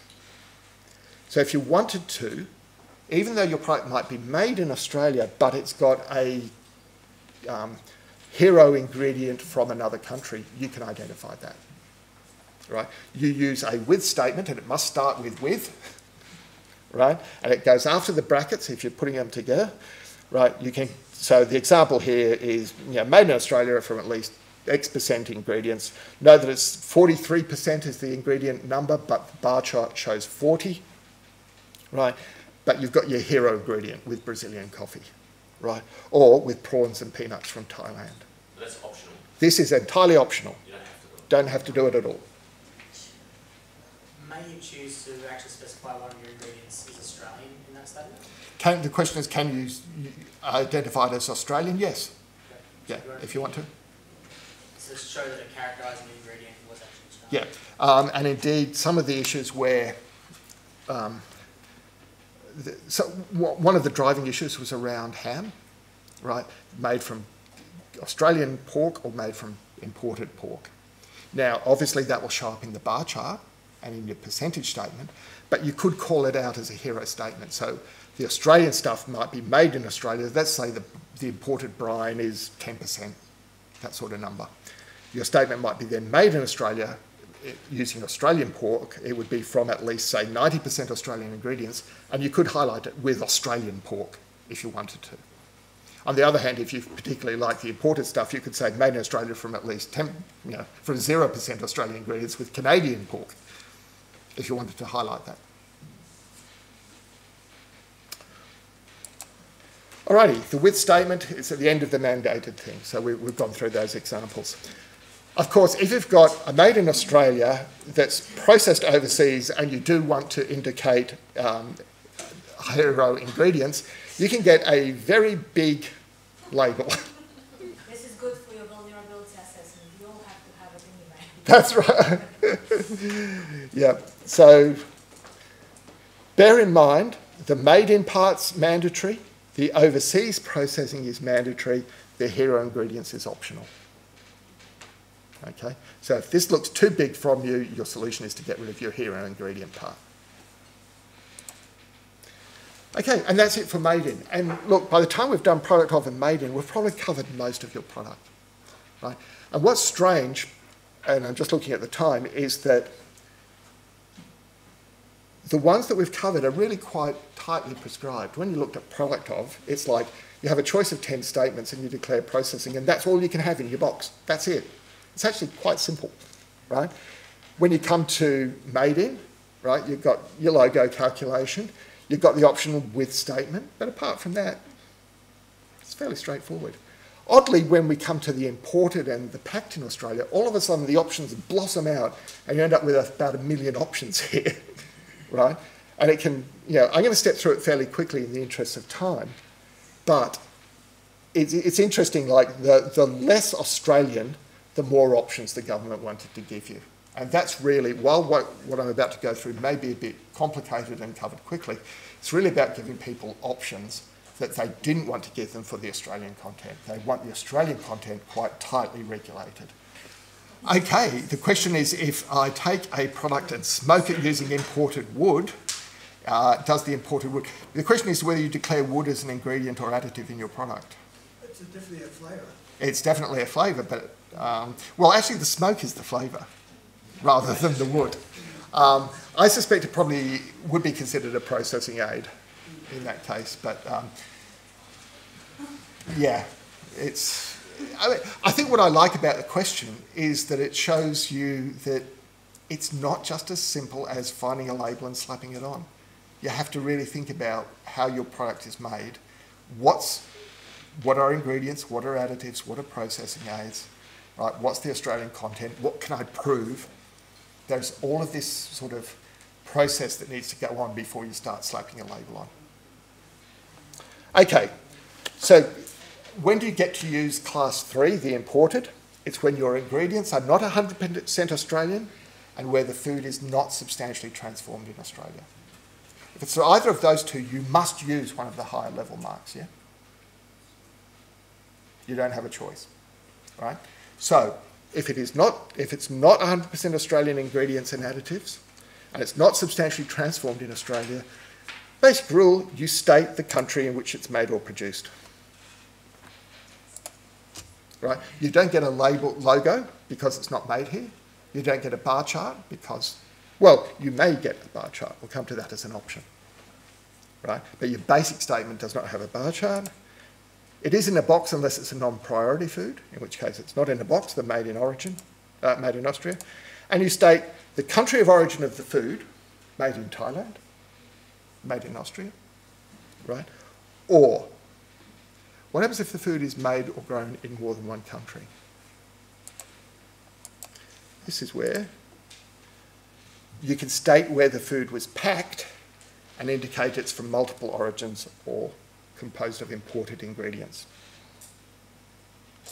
Now, packed in could be packed in Australia, right? But it might also be packed overseas. Okay, so again, these are your basic options for imported. And I really want to stress this. These are the basic options, right? A statement of where it's made or produced, a made-in statement, or a multiple origins packed in statement or a packed in from imported ingredient statement. Right? This is the keep it simple option. Almost everything that I go on from here is optional. And it can get quite complicated. Right? Always remember you can come back to this slide to a simple option. Okay, let's have a look at some of the options the text statement for the imported mark, grown in, produced in product of, blah, blah, blah, all the usuals. Uh, and you can also have your packed in and packaged in. Note you can't have bottled in. Right, bottled in, canned in, all of those other words go. You know, the new, the new laws only allow packed in or packaged in. Okay, let's take a look at the example where something is packed in Australia. I'll, I'll, let, yeah, let me take a step back. These next things are optional. I've said this before, but I just need to keep on saying it. There is a simple option always. Go back to that slide about just having made in country or packed in country from imported ingredients. They're your simple options. You can optionally declare Australian packaging. You can also optionally declare Australian ingredients. And you can optionally declare both Australian packaging and Australian ingredients. Okay? But remember the hierarchy. You can't use any of these if your product is actually product of or made in Australia. You must use one of those higher level claims. Okay, so if it's imported with 100% ingredients, you can use these labels. Made in the country from 100% Australian ingredients. So you've taken all of your Australian ingredients, shipped them to another country, substantially transformed it in that other country. It's made in that other country, but from 100% Australian ingredients. You can say that. You don't get the logo. It's not made here. right? But you do get a 100% bar chart. And if it's packed in Australia, you can actually say this too. It's an optional addition, so it can be made, still have to state the made in the country, still have to state the Australian ingredients, but you can also state that it was packed in Australia. So why you would take your ingredients, ship them to another country to make them there, bring them back and pack them in Australia, I don't know. But if you do, you have your own special label in the information standard. And I kid you not, this is all, all there in the information standard. Okay, if it's not 100%, well, it looks very like the made in, but without the logo. Yeah? Again, you don't get the logo because it's substantially transformed overseas, but you can state. And it's the same rules. The text statement specifies your actual percentage, the bar chart shows a rounded down. Uh, and if packed in Australia can state it, da da da. So there's some examples. If there are no Australian ingredients in your imported product, and you want to say that, particularly if you want to say it is packed in Australia, then you have to declare the zero percentage. Right? That's where it's made in one overseas country. Okay? So these are some sort of some sort of options that give you, you know, made, made in, produced in, grown in, product, produce, product of, or name name of the food. Can You still use a kangaroo logo with that? No, because these are not transformed in Australia. These are not made in. But you don't have to have the bar chart. You don't have to, and this is a key point. If you go with a packed in Australia, you have to have the bar chart, Oh, right? But if you don't go with packed in, and it's optional, then you just go with your basic keep it simple statement. right. Right. Okay, you can also highlight ingredients for your imported foods. Right? Australian macadamias, Scottish haggis, cherries from Namibia, whatever. So again, the, this concept of having a hero ingredient is allowed. Right? Fresh produce is fun. I love fresh produce. Okay, if you're having selling stuff unpackaged, so fresh, you still need to have your, your label the box, the bar chart, the text, and, and the logo. And it's in a, basically accompanying um, or displayed in connection with the food. So all of the supermarket delis, excuse me, are going to have to have little signs, right, with the little marking on it. It's a big issue for them. This is my favourite bit of the whole lot. Suppose, though, you've got a big bin of apples, right? And you've just put them in together and they're from more than one country. Well, here's the thing. If the apples are Australian and imported as a mix, you state mixed origin as your little label. However, if they're all, if it's two different sorts of imported, so if it's Brazilian and Canadian apples, you say multiple origin. Because consumers understand that if it says mixed origin, it means there's some Australian there, whereas if it says multiple origin, it means they're all imported. Apparently, consumers understand this fine. Okay, we've talked very quickly about averaging content. Here's how you declare it. Right? Made in Australia, ingredient sources vary. You state your average based on your one, two, three year period that's no older than two years right? And you have to then give a contact statement. It can be a website, it can be a 1 800 number, it can be a barcode, for example, right? And you may need to still declare overseas processing at the end, so it can be quite a big label. And if someone calls these details, you must be able to provide the Australian content of that food. So if you go in for averaging, you are actually buying into a significant data exercise. I hope that's been made clear to you. Not only do you need to have a rolling average to support your statement, you need to keep track of the origin of each batch so that you can answer these queries. Sorry, the question was can you declare a hero ingredient from a region like a state or territory or even more, more direct than that? um, in, as part of your hero ingredient declaration? The answer is no. Hero ingredients are declared by country. Okay, um, the, the question is what's the language around those sort of things? Um, the answer is yes, you can, but it's probably better to do that outside the box than inside. Remember, these are just options for inside the box. We'll come in a little bit later to what can you do outside the box. And frankly, I would keep keeping that box as small as I could, hand on heart. I think there are better ways of communicating to consumers those sort of issues about whether it's wild caught or organically harvested or whatever than inside the box. What is the origin? Okay, inland fish and uh, coastal fish are, of course, a lot easier. They're the country in which they're done. Deep sea fish, um, the Australian rule, it is the country of first landing. I kid you not. So you could send a Chinese trawler to the North Atlantic, and if it's first landed at Port Lincoln, then that becomes Australian fish. I am not joking, no. okay, however, you know what? Um, I reckon this is one of the areas that's going to need reform. And in the EU and uh, increasingly in the US, there are broad descriptions of fishery zones. There's a North Atlantic fishery and a South Atlantic fishery and a West Pacific and things like that. And uh, the, the tendency is to allow those to be declared as countries. So that would then become product of the North Atlantic or something like that. I think that's a much more sensible way of going than country of first landing, but that's not what we have in Australia at the moment. Hmm. Alrighty, just a reminder as we wrap up this session, because we're, we're getting late and we've got some morning tea. Believe it or not, I haven't explored every option here.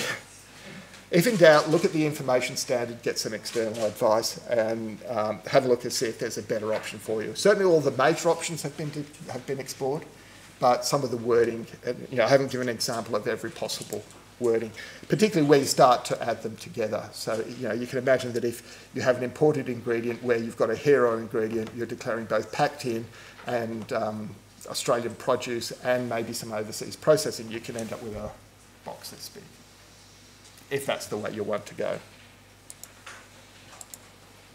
There is a hierarchy, I've stressed that a lot. Bear in mind that there is usually a simple option. Yeah? This doesn't have to be a complicated exercise. Only complicate it if there is value to you in complicating. Here are ingredients, right? Do you really want to declare them inside the box or do you keep what's in the box simple and declare the hero ingredient outside it? Right? All of those are always options. So think about where the value lies and how you want to communicate. Let's have a look about putting all of this into practice. I'm going to have a look at the data. How do you get data to support the claim that you are going to make? Have a look at how do you make the choices. We've talked about the number of options that you may have for your labelling. What sort of guidance should you have as to which choices you make? How do you manage packaging, particularly up to July 2018? What tools and guides are available? So let's look at keeping you cool. What are the data requirements? The data challenges can be really summed up as collecting, collating, assessing and storing the information. Collecting the data. Who here uses a product information form or a PIF? Few people, all the time. There's a really, really good answer. Um, if you don't already uh, know about the PIF, it is a standard set of information asks for manufacturers to give to their ingredient suppliers to provide all the information that is needed for regulatory compliance. It really is that focus on regulatory compliance. It may not be everything you need to ask. There may be non-regulatory things you are interested in knowing, but the PIF covers the regulatory side. Um, currently, the product information form, it's a product of the Australian Food and Grocery Council. It's going through a little bit of a transition at the moment in that it's moving to an electronic uh, sort of data exchange rather than an Excel spreadsheet. but nonetheless, it's a good way of doing it. But it's not mandatory, it is simply a, a picture of all of the mandatory asks. there is a specific uh, annex in the Excel spreadsheet for country of origin labelling, the reason why I highlight it.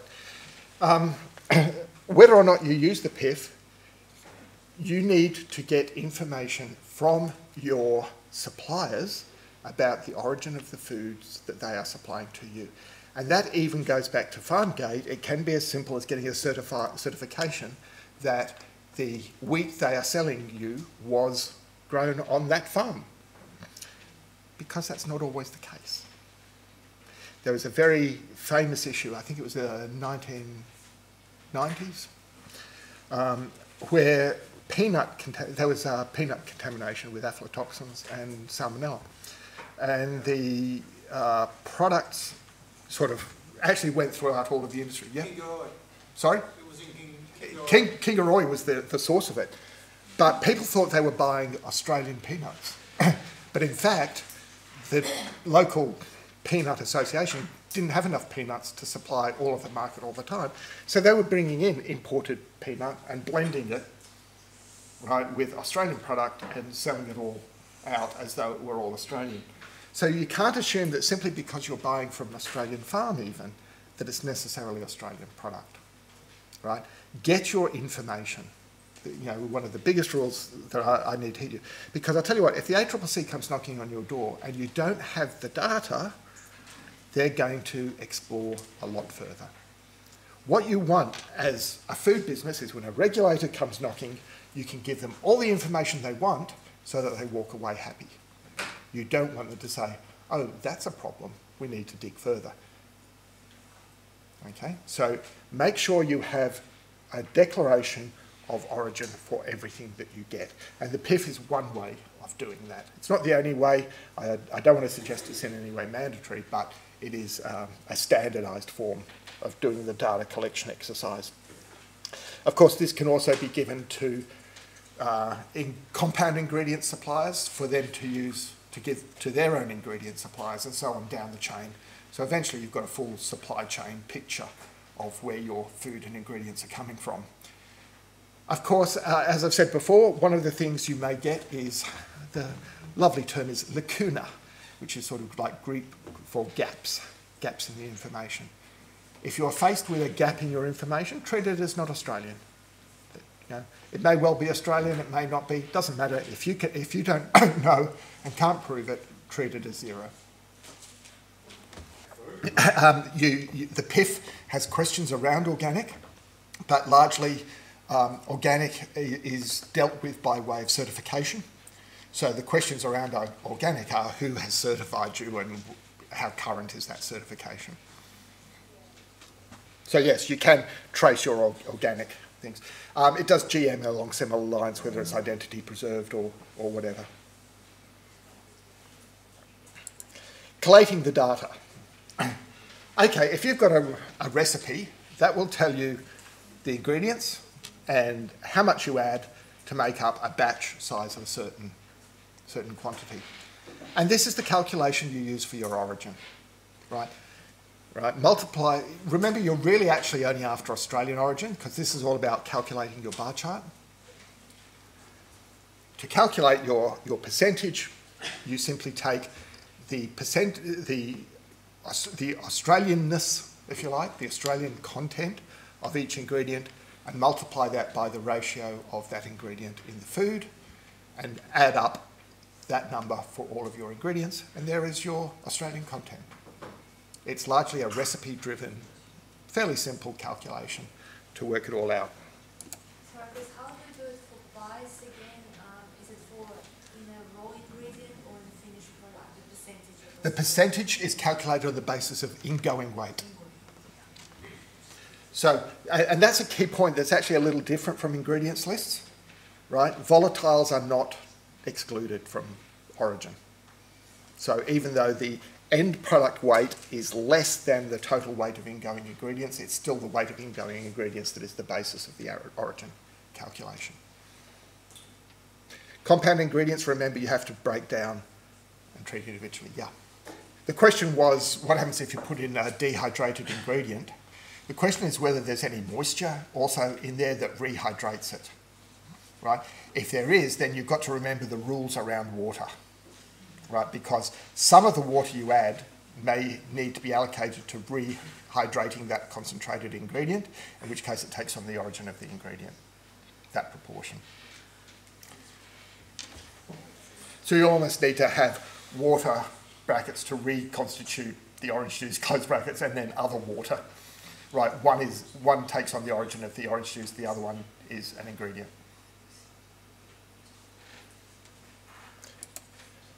Uh, yeah, information, if you don't have the information, treat it as not being Australian and you won't go wrong. Okay, assessing the data. What's the data quality that you're getting from your suppliers? This is not just a country of origin issue, is it? Right? When you get certification that something is, I don't know, sustainably fished, if you're, you're doing fish, how do you know whether, what's the value of that certificate? Does it come from a reputable agency?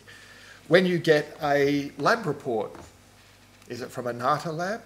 Um, you know, we are always assessing the quality of the information we receive in our food businesses. And there are a number of questions. Can I trust it? Will it stay the same? What's its currency? And do I need to audit it? Be prepared for it. Data is going to be king. So when we talk about the data exercise here, treat this seriously because you need to spend money to get your data, to analyse it, to make sure you're using it properly uh, in order to make a valid or, or defensible origin mark. Right? And the government really discounted all of that. They assumed you already have all of this information. So this is a big, big exercise. But here's the good news. Treat this as, if you like, the trial run or the, the first off the rank for all of your product information. Because let me tell you, I firmly, firmly believe the issue for food companies in the 21st century will be how well they manage data and how well they are able to provide transparency about their food products to the consumers. Right?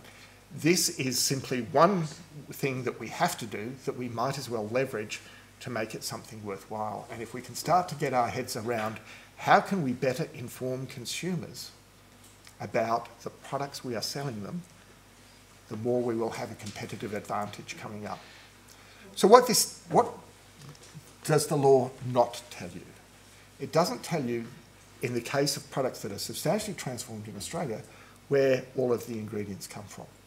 And if you ask consumers, that's actually what they want to know if you as a company are able to provide verifiable or you know reliable information maybe not on label maybe it's on a website maybe it's through a qr code if you are able to communicate this stuff transparently to your consumers they will trust your brand. And if you are worried about the, the duopoly and the growth of home brands in supermarkets and things like that in, in Australia, the answer is, lies in the power of the brand. And the, one of the best ways you can introduce brand value is to get consumer trust. And consumer trust will come in food, the food space through better transparency. And that's why I think information is, going to be one of those touchstone issues for us for the 21st century. Big picture stuff, bring it back to origin labelling. Can you get better origin labelling information not just so that you can comply with the obligation, but so you can start to build a transparency initiative to consumers that will build your brand value. That's the challenge I'd like to leave you with. excuse me. To do that, you need to make sure your information is reliable. But above all, continuity and currency are key issues. Excuse me.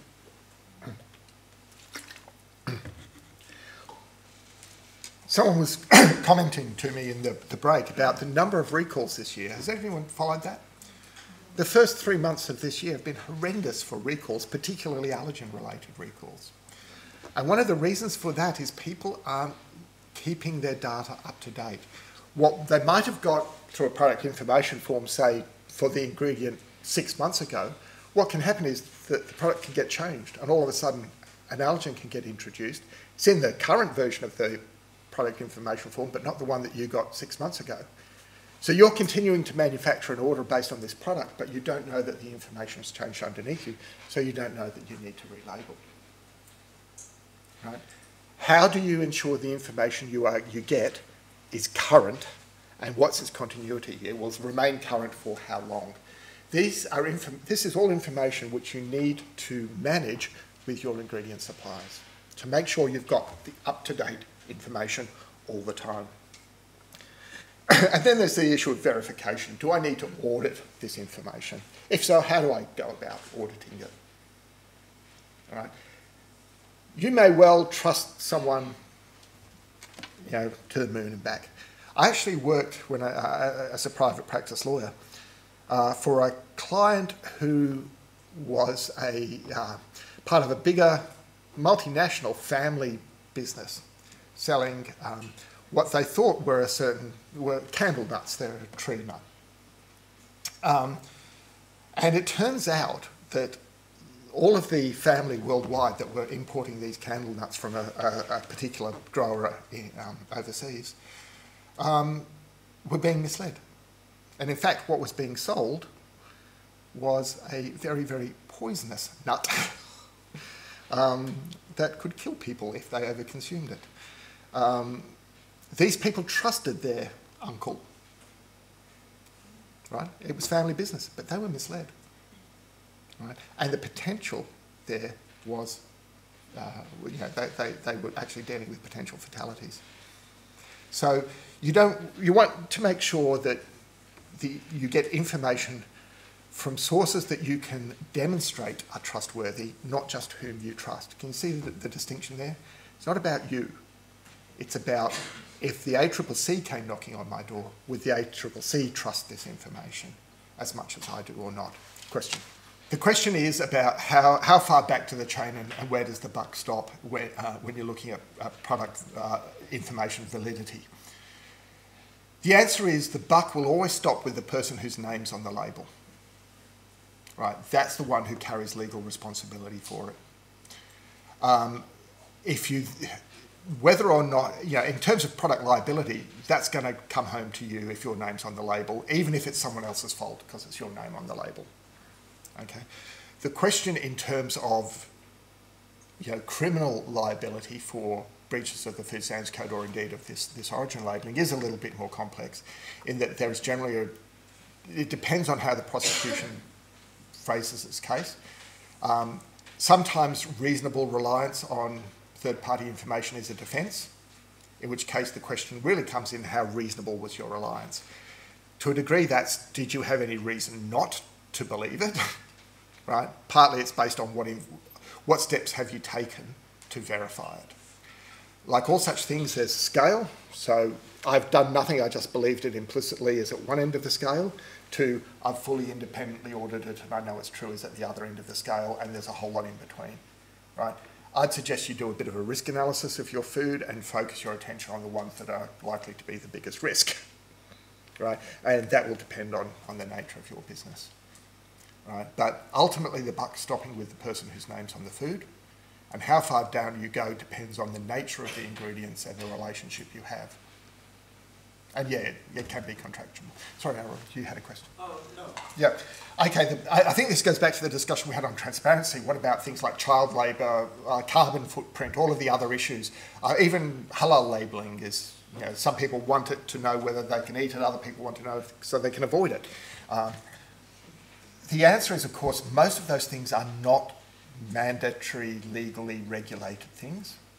Um, but nonetheless, one of the I think you're right to say that the transparency issue, initiative, um, a lot of them that have been done to date finish where the label finishes, right? So we will make the information that's on the label also available online. But if you're in a supermarket, why would you look up a QR code to go online to the same information that's on the label before you? That doesn't make sense, right? So I think the point you make is right, is that a true extended labelling issue has got to start where the label finishes and start getting into all of these other issues. The question is, what's important to the consumers of your product? Are they interested in child labour or are they interested in halal status or are they interested in carbon footprint? And that's where it pays you to know your consumers well. right? And the more, you know, you don't have to do everything straight away, right? But if you can deliver con- to consumers the sort of information they're looking for sooner rather than later, you will reap the reward of that. So, did you have a question, David, as well? Or? No. Yeah. Um, for your authenticity verification of some products, would uh, like a NATA logo on the product, NATA's about testing, yeah. yeah, put people's minds at ease? Um, you No, know, I, I wouldn't say so because most consumers wouldn't know what that means, right? But the regulators do. And, like, um, and so if you have NATA analyses, a NATA lab do your analyses, that's obviously a lot better in terms of regulators are going to look at that and they will take that as being right. Um, as distinct from, uh, here's a lab report, but it's not NATA, that would be given less weight. Storing the data, um, bear in mind that the records you need to keep for compliance will be three years from the end of the shelf life of the product. Okay, this is the time in which the ACCC can actually prosecute you for a contravention of the labelling standard. So you need to keep your records available in case the ACCC comes knocking. Um, you'll remember that there's a certain group of things that you do not need to label your product, but you need to provide information. Where you're selling a product that is then going to be on-sold by your customer, or where your customer is going to use it as an ingredient in another food, you must provide country of origin information. Surprisingly, you're only required to keep those records for one year. I don't know why that's written into the information standard, but it is. Um, and uh, I, I think they simply hadn't understood the, the general three-year requirement that's in the, the ACL, the, the Australian Consumer Law. But anyway, there is a difference between the two, and, and there it is. Losing your cool. How, how do you approach all of this issue? Right? How do you keep calm when you're faced with all of your labels needing origin statements by the 1st of July this year? First question is it a non priority food? If it's a non priority food, right, all I have to do is have a text statement about is it made, produced in Australia, say it, right? Uh, if it's packed in Australia, say that, or else state where it's from. Right? Largely, probably what you're already doing for your product. Doesn't have to be in a box, nothing else, just text statement. So if it's a non priority food, that's your first, first answer. The poor ice cream lady.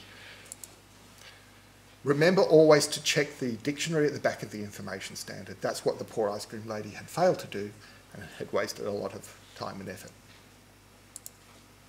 It doesn't mean no labelling. As I said, you still require labelling, it's just you're not involved in boxes and logos and bar charts and all of those sort of things. The next thing to ask is what's my actual obligation? Where do I sit in the hierarchy list? Am I a product of? Am I made in? Am I imported? And if I'm imported, do I want to declare Australian packaging and or do I want to declare Australian content? Where do I sit in the hierarchy?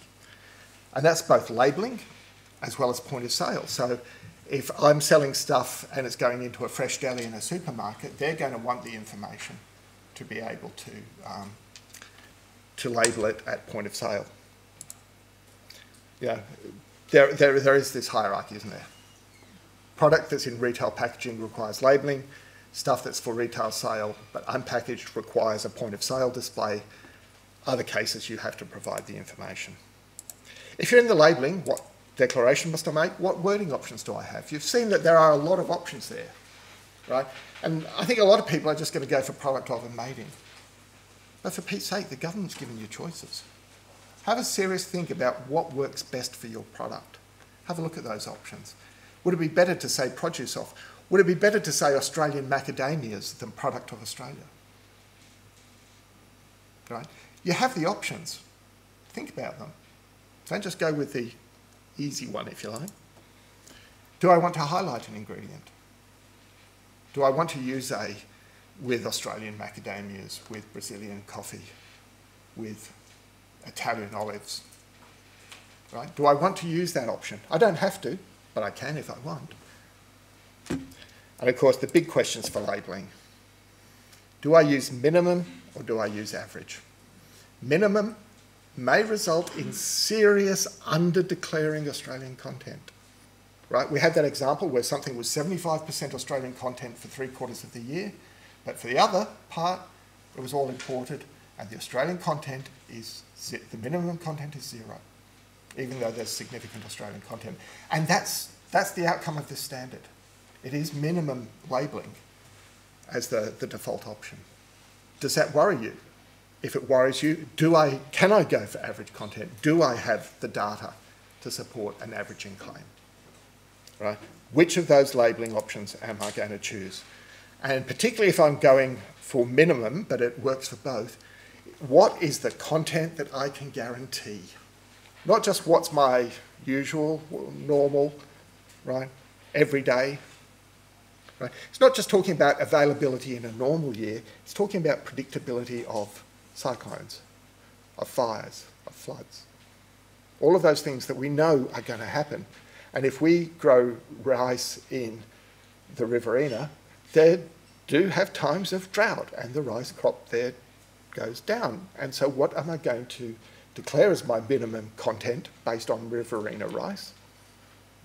Do I assume that there may be times when I'll need to import it, in which case I count it as zero? Right? What percentage can I guarantee? That is a key question. And what evidence do I have for it? How can I prove that number if the ACCC comes knocking? Alrighty, label change management. Implementation date 1 July 2018. Ongoing stock in change, stock in trade, which means that if you package something prior to 1 July 2018, you can continue to sell it through. How much label stock do you have at the moment? Can you use it all by the first, well, the 30th of June? If the answer to that is no, you're going to have to look at tossing some label stock out or re, uh, over stickering it. Right? Perhaps now's the time to be thinking of this. Right? Because I tell you, the I, I wish I'd taken my own advice. When this came out two years ago, I thought, you know what I should do? I should buy shares in printing companies. Because everyone in Australia is going to have to change their labels in the next two years, and there's going to be a big rush come the first half of 2018. I didn't do that, but I think label shares in, uh, sorry, shares in, in labelling companies have gone through the roof lately. Um, bear in mind that you may need to compete for that, like that printing resource, right? You may need to look at overseas printing. You need to think about how you're going to manage this change if you haven't already done so. And indeed, if you don't have a plan for using your new labels and getting, it, getting the new labelling, using your old labels, sorry, and getting your new labels in place, that's probably the thing you should do this afternoon, right, is write that plan. How are we going to use our existing label stock? Are we going to overstick it? In which case, where are we going to get the stickers printed? How are we going to apply them? Right? Or are we going to have new labels in place? How are we going to guarantee that on the 30th of June the old stock get to gets tossed and not used? Right? What's our process to get this in place? Now, I can't give you that. It's going to depend on your own internal processes. Right? But have the plan in place. You don't want to be doing this on the fly because that's how mistakes happen. We say the start date is 1 July 2018. Is it? Well, legally, that's the date. But what would you do if your customer says, I'm not interested in this stock and trade thing. I want new labels as from the start of May. What are you going to do? You have the choice. You can say, well, I'm not going to sell to you because my labels are perfectly legal and yeah, that's the way I'm going to do. it. But what happens if that customer is one of the two major supermarkets? Right? You need to know your customers' expectations and manage the customer expectations as part of this exercise. It doesn't hurt to tell them, once you have your label change plan in place, doesn't hurt to share that with your customers so that they know what you are doing. I mean, I, number one, they'll be reassured you know what you're doing because you know, they know that this is coming, so they'd be reassured that you are up on it and have a plan to deal with it. but it also helps manage their expectations as to what stock they will be getting when. Because they're worried. Let me tell you, the supermarkets are hugely worried about this as an exercise. Right? They're, they're potentially liable if they sell non-compliant stock. So they're going to need assurance that your, the stock you give to them is compliant, especially as from 1 July. Giving them a, an implementation plan can help minimise that risk and give them assurance that you're not the one they need to worry about. Think about the commercial news. Because 1 July is like really soon. We're going to be there very, very quickly. I've covered a lot of these. Have your advise your customers. Overseas, I should have mentioned this. If you export, the moment you start selling them a product with a different label, they freak. Right? And what's more, the government import inspection people freak, right? Because it's different and they think that the things changed.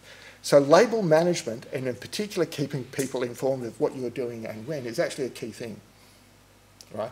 And it wouldn't hurt to tell, if you do have overseas customers, that just so you know, as from the middle of next month, you'll get logo, you know, new product with a logo on it, and I'll come to use of the logos in export markets in a sec. Um, just be prepared for that, and all it means is that the law here has changed its labelling. It doesn't. We haven't changed the formulation. We haven't done anything else. They need that reassurance. The other, well, an interesting point is that this is also an opportunity, if you haven't already done it, to review and renew your labels and to make any other changes that need to be made. Do you have the horrible AL letters in your nutrition information panel? Now's the time to take it off. Did you know that in 2015 the law around NIPs changed? Who knew that? Some people. The, the law used to say a table to the effect, which means that you could vary the layout of the table. It now says a table in the form, which means that you need NIPs in the form that they are set out in the food standards column. Okay, the two columns, you know, even things like having serving size and serves for pack on separate lines, all of those are now becoming important. So this is the opportunity to do something good. Very quickly, what help is out there? The ACCC Compliance Guide, there's a style guide, cool tool, and an artwork library. There's a website. I think these slides will be available on request from Patricia if you want to call her later. The ACCC guide is 38 pages. I mean, the information standard's about 38 pages, so it's not going to tell you a lot. Don't expect all of your questions to be answered in there, and in particular, the ACCC guide tells how they think it should work, not necessarily what the law says. Right? Right? The line might be here according to the language, but the ACCC draws the line there. Always be aware, and they're, they're pretty clean about it. They will say the ACCC's view is dot, dot, dot, dot, so you know that that's not what the law says is, it's what the ACCC believes. Doesn't mean that you, could, you should ignore it. It's always good to know what the regulators think, right, and comply with it if you can, but always be aware of that distinction between a legal requirement and an ACCC view. There is a style guide. I talked about there being no minimum size and things like that. However, there is a style guide. And the style, it's not law, but it specifies colours for green and gold. It specifies the font used for the text statement, which is interstate bold if you are interested. It suggests that there be a three millimetre separation around the outside of the green box. Who's got that amount of space on their label left? I don't know. It talks about where it should be placed. In particular, don't stick it on the bottom, please. Apart from that, they're not too worried. because it then talks about size. So the, the guide is just a guide, but it can be a useful thing. It's like all regulatory things. If you can comply with it, why, why not? The Cool Tool is an interesting one. This is an online site on the access through the business.gov.au site. You key in your product data and it will spit out for you the relevant mark that you can then just download and copy and paste into your artwork. So it actually is quite a useful tool, and indeed, all of the marks that you've seen in my presentation this morning have been generated using the Cool tool. So it can be, you know, it's very flexible, it can get you to the end thing. I'm a computer person as well in my spare time. Gigo is a thing for us, garbage in, garbage out, right? It takes your data Right, the fact that it's generated by a government tool is not going to be any defence if the ACCC comes knocking and says it's wrong because it's based on the data you put in. And if you put in the wrong data, it'll give you the wrong mark. Yeah. Or wrap the text around or something. No, that basically you, you're, you're constricted to a portrait or a landscape view of it. yeah. And the and the if it's got to be that long, it's got to be that long. if it's got to be that long, it's got to be that long. No. OK recommends standard marks, generates the standard mark and downloads them. As I said, all of the marks here have been taken from that. There's an artwork library that's available, so if you don't want to use the cool tool, if you want to make up your own, you can download each of the elements, including the logo and the various bar charts uh, from the website. Is minimum size, Chris? Uh, not in law. The, um, the style guide makes recommendations, but, that, but they're not law. Um, I've seen the mock up for, I think it was like a packet of Tic Tacs, and it was pretty small. The question is, it's got to be legible. Okay, what are the issues? Can you use this for non foods? Well, the issue is around the logo, right? The short answer is the government has no problems with you using the same origin labelling system for non foods, but in areas other than domestic food, the logo is actually the licensed intellectual property of the Australian Made Australian Grown campaign.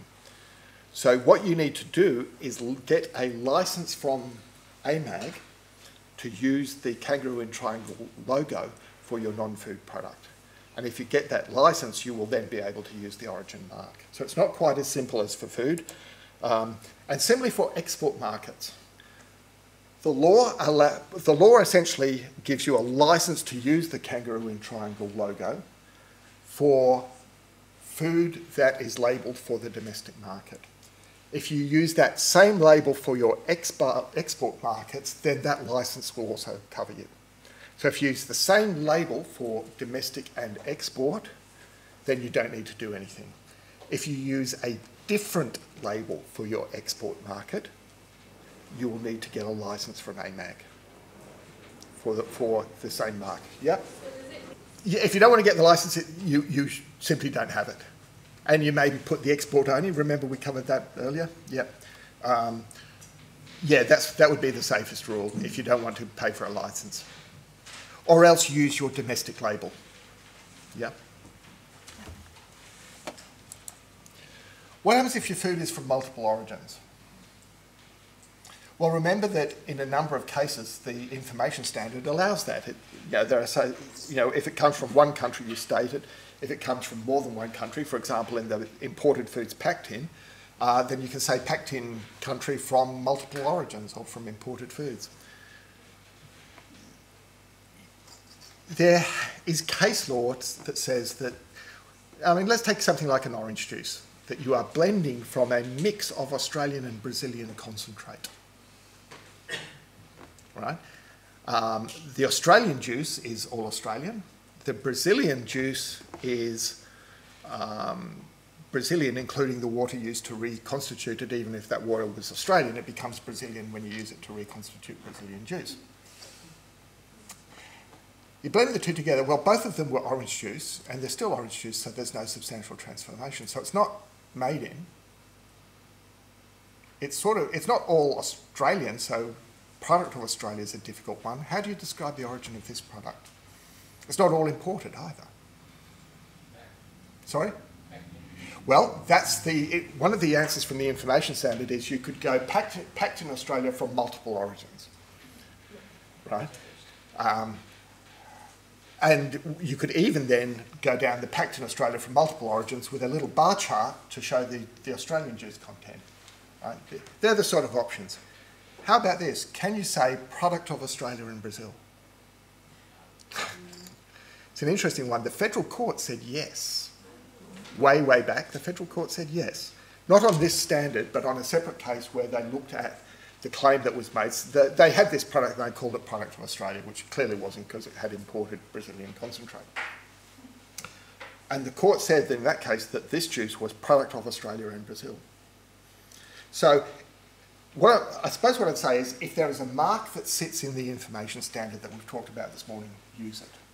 But if you've got a really complicated origin, get some advice about it because it may be possible to state multiple origins for your food in a way that complies with the information standard. Origin can be a really tricky thing, particularly where you use commodity products that are blends of whatever's cheap from around the world. Okay? So there may be ways around it, is all I'm saying on that one. Other on-pack representations and off-pack representations, there is nothing in the information standard which says you can't talk about origin elsewhere. If you do, it is simply subject to the normal consumer law provisions about being false and misleading. So if you want to talk about regionality, right, if you want to talk, if you want to talk about a hero ingredient, you don't have to do it inside the box, you can do it outside the box. Right, just don't be false and misleading. This is a key, key point. Hand on heart, if I give recommendations about origin labelling to people, I'd say in the box, keep it simple. Use the shortest one you can, right? Because there is nothing in the optional bits that you can't say anyway outside the box. And outside the box, it's not regulated except by the law of, against false and misleading. If you go inside the box, there's all those rules that you have to jump through about the language you use and that sort of thing, right? Get the freedom, go outside the box. Keep the, what's in the box simple, go for your outside the box rep representations. The law allows that, subject to the general rule that thou shalt not be false or misleading. Uh, data, can you prove your claim? We've done that. Be very, very sure of your sourcing, right? Don't fear under declaring. There's going to be a lot of products out there that are made in Australia from 0% Australian ingredients. Right? That's the reality of the Australian market. Be conscious of what I call the made in squeeze. Made in is expanding, product of is shrinking, and packed in is shrinking. Right? Made in is expanding. That's normal, that's happening to everyone. If you're in the affected categories, don't fret about it. Everyone else is in the same boat. Water is tricky, remember the three rules and treat them with respect. And bear in mind your implementation date. 1 July is the regulated date. Talk to your customers, get your plans in place. Let's have a look at general questions. Come, yeah. General questions. Okay, so I've got it on water and reconstitution, so I'm looking at the guide. Uh, it talks about fruit juice, um, concentrate, uh, it's added water, become, the water becomes foreign. Um, but it has dry batter mix and it has dry pasta, and it's basically saying because pasta is unedible in its original form, if you were to rehydrate it, the water stays from its origin country. Does the same apply to tea, where you would never eat raw tea leaves? yes. Right? Well, that's the interesting. What's the what's the food? Is it tea or tea leaves? Yeah. Um, this is the ACCC guide. This is the HPC Yeah. guide. Okay. Bear what in mind I said about the ACCC guide. Uh, it's better to read the law than the Yeah. ACCC guide, Sure. right? Um, I think there are many concentrated foods that are inedible. Right? The test is whether the food is dehydrated and concentrated and is then rehydrated. Right. Not whether it's edible or inedible in the concentrated form. So that's probably an area where I would say you take the ACCC guide with a grain of salt. Okay, and take the law as being. T- The law is what you must meet. Because two of the three examples lean towards being able to use your water as the origin. the second Yeah. example is a dry batter premix, so where you have sugar. Oh, sorry, too, I, I'm sorry, I should answer your question more directly too. The question was about, um, is tea a sort of a dehydrated ingredient that gets reconstituted? Yes. I don't think it is, right? Okay. So even though the tea leaves are indeed dried. You are not reconstituting them and then eating the reconstituted product, Right. The water in a tea, I would say, is an ingredient, Okay, and so that's the ingredient's origin is wherever it comes from. is where it comes from. So if you use Australian water, it's Australian. Excellent. Now I have a second question, which is to say that a product. A hypothetical, please. Hypothetically. so um, uh, kombucha would, uh, could potentially sit in the non-priority category because is it considered a uh, soft drink Yes. or a sports drink or a carbonated drink or an alcoholic drink? Because kombucha sits in, um, for it to be, be able to serve in Western Australia, has to fall below 1.15% alcohol. The non-priority food for an alcoholic beverage is, o- is any beverage, any beverage over 0.5%. 0.5, correct. So then that That's the difference between licensing laws and food standards code. Right. Yeah. So but then does that make my beverage a non-priority food over 0.5 It's over 0.5, then it's an alcoholic beverage. 1.15, Yeah. so it's legal. Okay, the answer is have a look. Have a look at the Don't need one because it's not over have a look at that dictionary at the back of the uh, the information standard, Yes. right? And follow through the definitions. By and large, if things are not separately defined, Yes. the definitions that exist in the Food Standards Code are carried over. Okay, so That's the idea. So, so take a look at your dictionary to get your answer there. Okay, got three definitions. Up the back. Just a quick comment, Chris, rather than a question. So that means now on our label, we can legally use the term one hundred percent. Uh, yes, in, for products that are 100% say Australian, Yep. you can. Certainly under the information standard, um, for a product that is indeed 100% Australian, you are allowed to state, and in fact, one of the options requires you to state 100%, and you have the safe harbour, which says that by definition is also not false and misleading to state it. Uh, 100% natural again gets into ACCC territory. There is a thing if you if you're interested in claims about natural or about um, pure or those sort of things. The ACCC has a thing called the Food Descriptors Guideline, which talks about how they interpret natural. If all of your product meets that definition in the ACCC guide, then there's nothing wrong with saying 100% natural. Thank you. Yeah. Primary packaging is excluded from this law, right? Uh, th- this law applies to the retail packs, not to original primary packaging is out. Well, it depends what you mean. I, I, hear people using those terms in different ways. Certainly, the way I would, would put it is, as I've stated, the pack that is intended for sale to re, to consumers, which may or may not be outer packs as well. You know, you've got to think about how you're selling your product. You know, there, there are individual packs that may be in multi-packs. Multi-packs can be in boxes. Boxes can be in containers. The question is which out of those are for sale to consumers, and different different uh, customers of yours may sell different layers. Right? There are some that will sell it by the box. There will some that sell by the multi-pack. There will some that break open multi-packs and sell inners. Right? So you've got to think about how your product is sold and mark accordingly. I'll give you hypothetical. So it's a fully 100% Australian ingredient Mhm. packed in a recycled packaging. Can it, can it have a label, Australian product? Uh, the packaging doesn't count, it's the ingredients, but if the answer is that that's 100% Australian, then that's what must be on the label. Smaller packages. Consumer packs. Okay, the question is about the taking uh, large bulk packs of a product and repackaging it into consumer packs. The person selling you the bulk pack, if that's not a retail pack, does not have to label their pack, the, the big one, with origin, but they need to provide you with the information. Then right? You then are responsible for, when you repack into the consumer packs, have to have the full 11, including country of origin labelling, on your retail pack. would it be acceptable to have that information available upon request but not have it? Because I think that might be what's currently. Okay, the question is, is whether that information actually has to, the retail pack has to be information or available on request.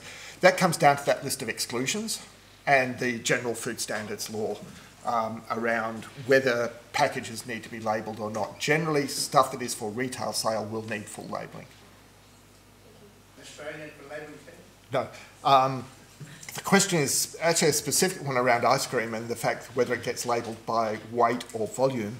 Um, if it's labelled by volume, you have the opportunity to blend in more air and get a bigger volume from essentially the same weight. Um, and this has been the, the subject of trade wars between ourselves and New Zealand for decades.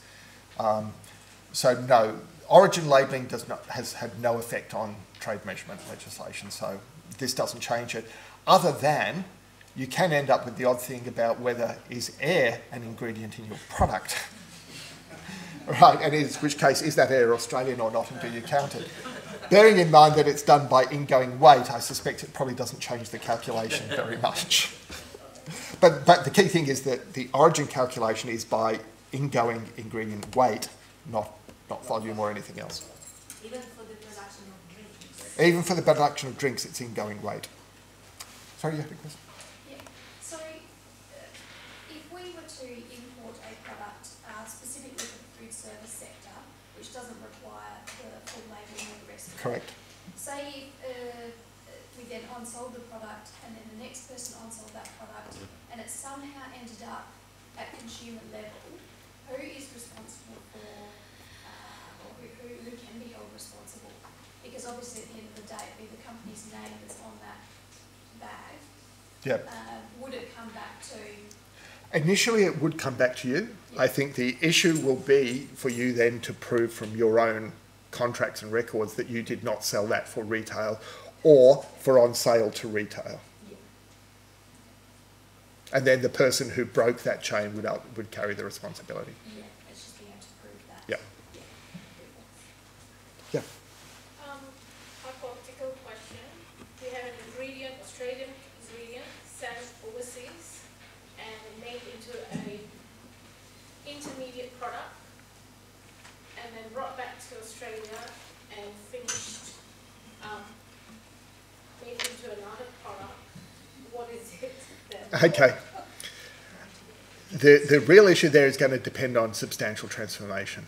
So the, the example, was, um, the question relates to Australian ingredients being sent overseas, transformed there into an intermediate product, that intermediate product coming back to Australia, further processing here in Australia. What's the labelling? Yeah, that's the question.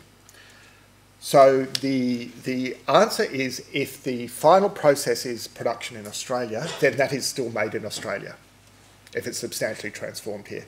Using that intermediate ingredient maybe with other things. If it's then substantially transformed, that becomes Australian. If not, then it's an imported product, right?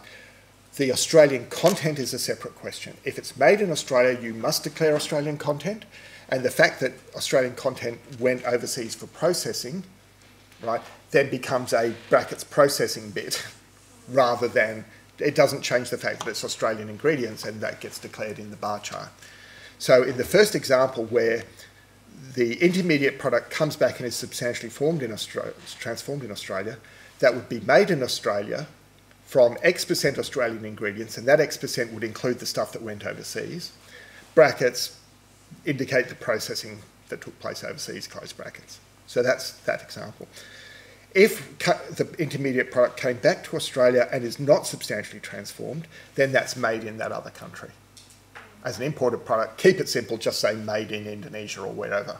Um, and you know, if you wanted to, you could make a claim about Australian content that could go in the box, but it could also go outside the box, and you might have greater freedom by making the claim outside the box. So it, it really, the, the key issue for you is does the product that comes back get substantially transformed or not? That's very grey area. What does it mean by substantial transformation? It is whether the incoming ingredients are different in nature or essence to the end product. And that's a consumer judgment more than anything else. So, like I say, if in doubt, get some research. Alrighty, I think we've come to the end of our time, so I'll hand back. I'll just very quickly check. Um, don't, we haven't had any questions from the regions. I'm not sure if any of the regions are still with us, but were there any any questions from any of the regions? No questions from Albany, thank you. Thank you. Um, I have a question from Northam. How does it affect farmers market situations? Um, fresh product may come in loose, or it may also come in packaged. Yeah, look, great question. Uh, if it comes in packaged, then you're required a mark on that package because this apply. uh, Essentially, farmers markets are still a retail outlet. Yeah, so anything that's packaged, if it's sold in a farmers market, requires the same as a retail label as if it was sold in a supermarket. If it comes unpackaged, that's like being sold in the supermarket. You will need a little tag that indicates the um, that, ha- that has the standard mark on it for that product.